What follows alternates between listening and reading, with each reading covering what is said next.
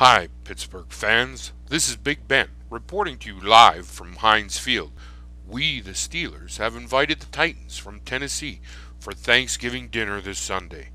We are not swayed by Chris Johnson and his measly 2.9 running average, or Nate Washington's 1 TD all season, or even the former Seahawk QB Matt Hasselbeck. Come on, fans. Even with my wobbly ankle, I can run circles around Tennessee's no name defense. It's a good thing the Titans have a bye after this game, as they will need it to mend their broken turkey legs. So here's the spread for those wise enough to stick with the steel curtain.